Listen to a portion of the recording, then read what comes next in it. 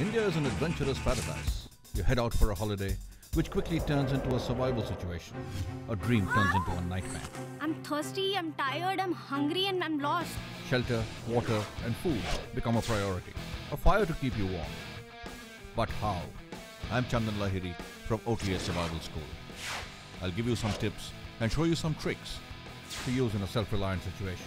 Do not think problems can only happen to other people, it can happen to you. The desert is very prone to high winds and sandstorms. The sun beats down, heating up the sand, which heats up the air above it, which rises up, creating a low pressure area. And air rushes in, cooler air. That creates sandstorms. And you can't outrun a sandstorm. With all the sand flying around in the high winds, visibility becomes poor and you can get disoriented very fast. You need to find shelter or make shelter and you need to wait out the storm. Take a look.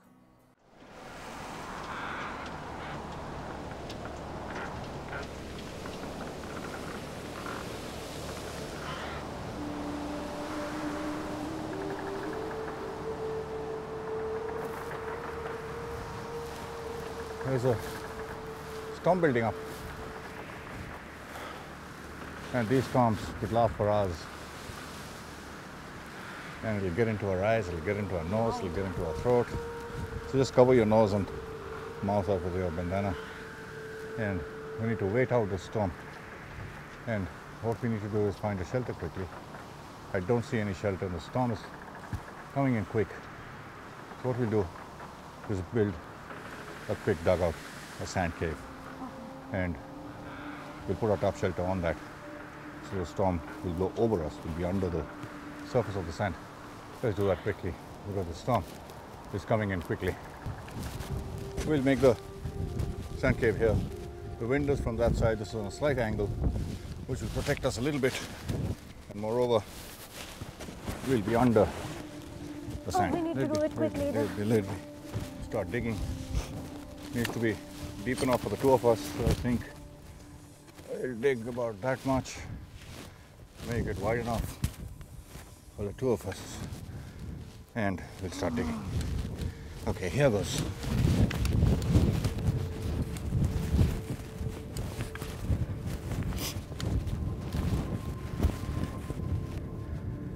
Oh boy, this is tiring work.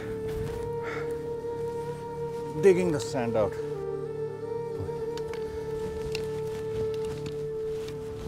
Okay, you want to try lying down here?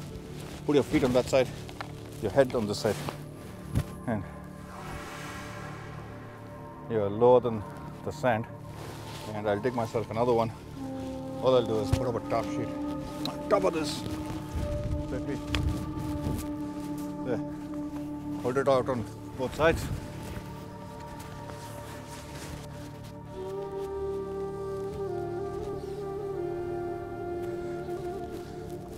Now that you're a shelter for her, I'll need to start digging mine. And what this will do is you've dug a cave or a grave or a dugout in the sand, which is below the surface of the sand, and put a top sheet on top of her. What that will do is when the wind starts to blow, when the sand starts to hit, it'll blow over the top sheet, over the person lying in lying inside there, under the top sheet, inside the sand, way protected than one would be if you're sitting out in the open, even if you were in a shade on a leeward side of a dune. This is far more comfortable and way more protected by digging a hole in the sand. This took about five, six minutes. The problem with sand is the more you dig it out, more sand comes in from the side. That's what makes this job so tiring. These things happen to every adventurer who's out in the desert. A sandstorm can pick up any time. And just remember, it can happen to you. Learn to adapt, improvise, innovate, and overcome. To learn more tips and tricks, visit this site.